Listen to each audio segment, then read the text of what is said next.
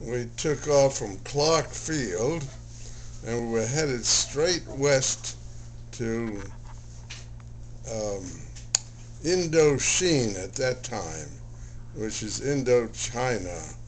The French were in possession of Indochine, which became ultimately Vietnam. And we went due west uh, to a city on the coast of Indochine called Nha Trang, N-H-A-T-R-A-N-G. It was a resort right on the coast, uh, similar to Palm Beach and so on, with palatial homes and, you know, small hotels. What year? And the year was 1952. 1952, having gone from Japan down to the Philippines.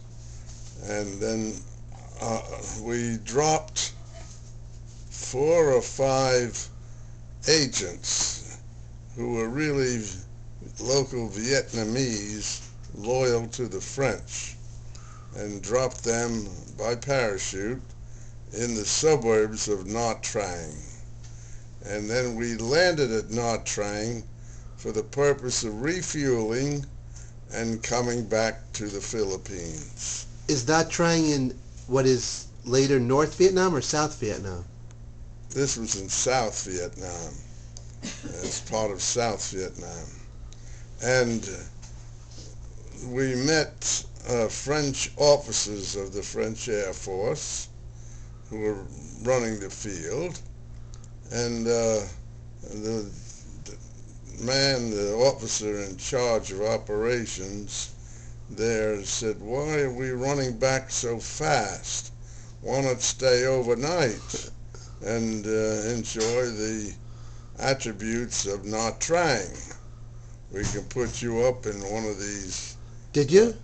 Yeah, so I, I uh, polled my crew and the unanimous result was we would stay.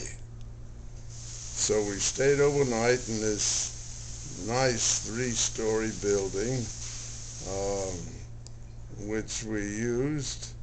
And, and, at that time, maybe in old times, sleeping in a bed meant also having a net netting Mosquito. over the bed to protect you from flying in mosquitoes, flies, malaria. mosquitoes, and so on. Um, and uh, the, the evening, however, we spent at the officers' club with the French officers, Did they know your mission?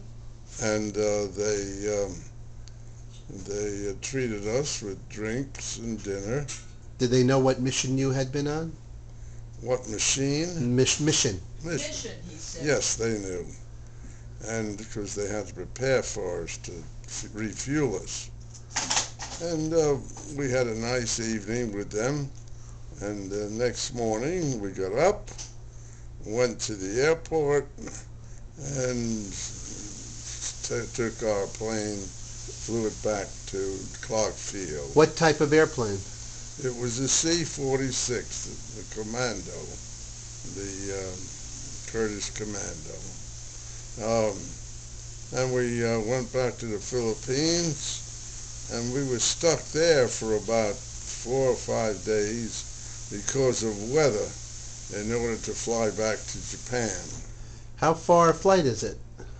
The, uh, the Philippines, um, Clark Field, to Indochine was 400 miles. Uh, I think it was about uh, two and a half hours of flying. And to Japan? And to Japan from the Philippines was much more. It's like uh, Your plane could make it in one. we How- made it in one, without no stop. What's the range on the C-46? I've forgotten. The range was About. about uh, eight, nine hundred miles. Oh, so, oh, okay.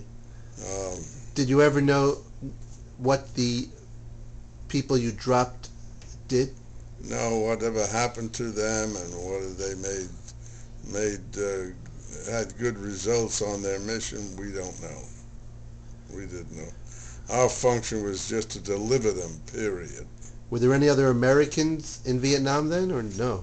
No, there may have been a, a liaison officer working at uh, Nha Trang, but uh, I don't remember any. Why didn't the French just drop their own, use their own airplanes and drop them? I don't know. These agents were, we picked them up in Clark Field in the Philippines. Oh. Uh, you know, and they they came on a plane, and we as soon as as soon as we reached Vietnam and uh, the the suburbs of Nha Trang, we dropped them. Did they were they French people or Vietnamese people? Uh, they were Vietnamese. They weren't French. Were they armed? I'm sure they were. Hmm. I'm sure. Okay, just state your name and rank for the record.